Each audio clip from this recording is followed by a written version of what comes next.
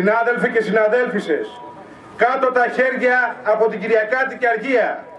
Πληροφορούμε κυβέρνηση και εργοδοσία πως δεν πρόκειται να κάνουμε βήμα πίσω από τα δικαιώματά μας. Με εργαλείο τους αντεργατικούς νόμους που ψήφισαν τα προηγούμενα χρόνια οι κυβερνήσεις Νέας Δημοκρατίας, ΣΥΡΙΖΑ, ΠΑΣΟΚ και μπαίνουν πια στην τελική τους φάση τα δικαιώματά μας δέχονται αλλεπάλληλα και εντυνόμενα χτυπήματα. Όλο το προηγούμενο διάστημα δώσαμε όπως και σήμερα με μια σειρά από κινητοποιήσεις που θα ενταθούν στη συνέχεια απάντηση στην εργοδοσία και στις κυβερνήσεις της που έχουν βάλει σαν στόχο το ξύλωμα της Κυριακάτικης Αργίας. Η ένταξη του εκδοτικού χωριού στα Σπάτα με υπουργική απόφαση της Νέας Δημοκρατίας στο νόμο του ΣΥΡΙΖΑ που προβλέπει άνοιγμα των καταστημάτων 32 Κυριακές το χρόνο σε μια σειρά περιοχών της Αττικής και της, και της Θεσσαλονίκης η ανακοίνωση της εργοδοσίας στα Τσάμπο ότι προχωρά σε άνοιγμα των καταστημάτων της Επρέπεζα και Πιερία όλες τις Κυριακές του χρόνου αξιοποιώντας τους ίδιους αντεργατικούς νόμους όπως και η αντίστοιχη απόφαση του Αντιπεριφερειάρχη Πρέβεζας αποτελούν κρίκους στην επίθεση που ξετυλίγουν μεθοδικά εδώ και χρόνια το κεφάλαιο και οι κυβερνήσεις του. Ικανοποιείται με αυτόν τον τρόπο μια πάγια αξίωση των επιχειρηματικών ομήλων με δραματικές συνέπειες για τους εργαζόμενους και τους αυτοαπασχολούμενους στο εμπόριο, οι οποίες δεν θα περιοριστούν σε αυτόν τον κλάδο μόνο, αλλά θα επεκταθούν παντού. Η εφταήμερη λειτουργία των καταστημάτων, το χτύπημα της Κυριακάτικης Αργίας για τους εργαζόμενους έρχονται να κουμπώσουν σε όλο το υπόλοιπο αντεργατικό νομοθετικό πλαίσιο που επιτρέπει στην εργοδοσία να κάνει λάστιχο τη ζωή των εργαζομένων να τους εκμεταλλεύεται όποτε, όπου, όπως και για όσο θέλει ανάλογα με τις ανάγκες της. Ειδικά στο εμπόριο, οι εξελίξεις αυτές κουμπώνουν στην απογείωση της ευέλικτης εργασίας και της ημιαπασχόλησης, στο νομικό πλαίσιο που κατοχυρώνει το χτύπημα του σταθερού ημερήσιου χρόνου εργασίας με βάση τον οποίο το καθημερινό ωράριο και οι εβδομαδιαίες ώρες δουλειάς αυξομειώνονται ευέλικτα και χωρίς καμία επιβάρυνση για τους εργοδότες ανάλογα με την εμπορική κίνηση όπως και στα σπαστά ωράρια με τα οποία οι εμποροϊπάλληλοι βρίσκονται στο πόδι από το πρωί ως το βράδυ. Για τα κέρδη των επιχειρηματικών ομήλων σμπαραλιάζεται η οικογενειακή και κοινωνική ζωή των εργαζομένων. Αφού κανένα κυλιόμενο ρεπό, το οποίο σύμφωνα με αποφάσεις της Ευρωπαϊκής Ένωσης μπορεί να δίνεται ακόμα και μετά από 12 μέρες συνεχόμενης εργασίας, δεν μπορεί να αντικαταστήσει την Κυριακάτικη αργία.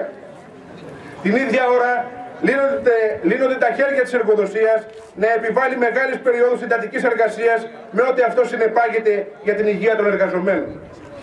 Στην πολύ συγκινητική διαφήμιση της Τζάμπο που προβλήθηκε φέτος στα Χριστούγεννα θα μπορούσαν κάλλιστα να αντικαταστήσουν τον άμερο ναυτικό με έναν υπάλληλο της εταιρείας.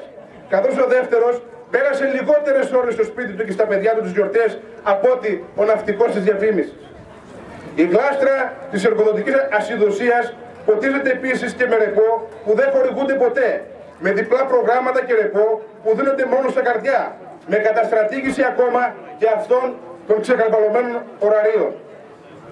Είναι επομένως διπλά προκλητική η προπαγάνδα του κεφαλαίου, την οποία αναμάσισε τις τελευταίες ημέρες ο πρόεδρος της Τζάμπο, ότι τάχα αυτές οι ανατροπές προωθούνται για το καλό των εργαζομένων και τη σωτηρία των θέσεων εργασίας.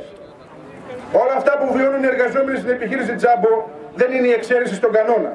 Στον κλάδο του εμπορίου δοκιμάστηκαν και γενικεύτηκαν όλες οι μορφές των ελαστικών σχέσεων εργασίας, η επέκταση της εργάσιμης ημέρας. Σε όλα τα μεγάλα εμπορικά καταστήματα, τις αλυσίδες σούπερ μάρκετ έγιναν καθεστώς το τσάκισμα μισθών και συλλογικών συμβάσεων εργασίας, το άνοιγμα των καταστημάτων τι Κυριακές, οι λευκές νύχτες, η ένταση της εκμετάλλευσης, η εποχιακή χωρίς δικαιώματα εργαζόμενοι, οι μηνιαίες τρίμηνες εξάμεινε συμβάσεις ορισμένου χρόνου, οι επιπλήξεις που οδηγούν σε παρέτηση εργαζόμενους, οι αξιολογήσεις, όπου με τη δεύτερη αρνητική αξιολόγηση απολύονται εργαζόμενοι. Όλα αυτά είναι 38 παραδείγματα της ανάπτυξης που κλείνουν σε όλες τις πτώσεις οι κυβερνώντες, που σημαίνει ανάπτυξη για τα κέρδη των επιχειρηματικών ομίλων από τη μία και ακόμη μεγαλύτερο τσάκισμα των δικαιωμάτων μας από την άλλη. Οι εργαζόμενοι στο εμπόριο και σε όλους τους κλάδους δεν πρέπει να συμβιβαστούν με τη ζωή λάστιχο, τα εξαντλητικά ωράρια, τους πενιχρούς μισθούς και τα τσακισμένα εργασιακά δικαιώματα. Μαζί με τους, με τους αυταπασχολούμενους και τα άλλα λαϊκά στρώματα που μπαίνουν στο στόχαστρο της ίδιας επίδεσης, οι εργαζόμενοι μπορούν να βάλουν φραγμό στην επίδεση που δέχονται. Η κοινή πάλι και συμμαχία όλων αυτών μπορεί να οδηγήσει στο ξύλωμα όλων των αντεργατικών αντιλαϊκών νόμων των μνημονίων, στην νομοθετική κατοχήρωση της κεραϊκάτικη αργίας, σε αυξήσεις μισθών, συλλογικών συμβάσεων εργασίας, συντάξεων. Οι εργαζόμενοι μπορούν να δώσουν απάντηση με άνοδο της οργάνωσής τους, με ενίσχυση του συλλογικού αγώνα, με συσπήρωση στο σωματείο τους, μαζί να παλέψουμε για αυτή την κατάσταση. Συνάδελφοι και συναδέλφισες, η κυβέρνηση της Νέας Δημοκρατίας, βρίσκοντας στρωμένο το έδαφος από τις προηγούμενες αστικές κυβερνήσεις, έφερε για διαβούλευση το νέο βιώσιμο ασφαλιστικό, επιχειρώντας να βάλει οριστική ταφόπλακα στην κοινωνική ασφάλιση, να την παραδώσει οριστικά στα νύχια ιδιωτικών ασφαλιστικών εταιριών. Να βρισκόμαστε σε διαρκή επαγρύπνηση και ετοιμότητα. Να συνεχίσουμε να οργανώνουμε την απεργιακή απάντηση του λαού και των εργαζομένων. Με γενικές συνελεύσεις, συσκέψεις, παραστάσεις διαμαρτυρίας, περιοδίες στους χώρους δουλειάς.